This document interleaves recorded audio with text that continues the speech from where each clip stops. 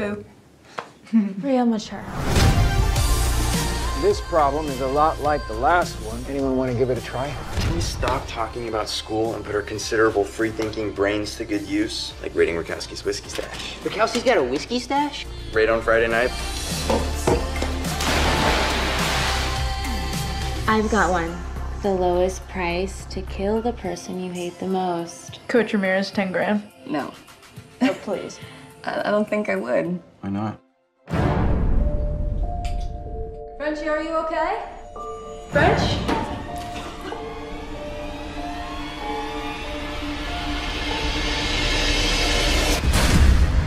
Run!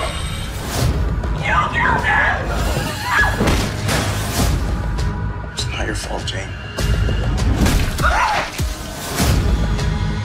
Two kinds of people, Jane. Little people, hammer people.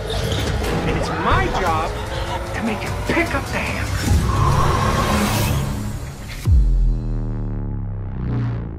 Wait, what about the vents?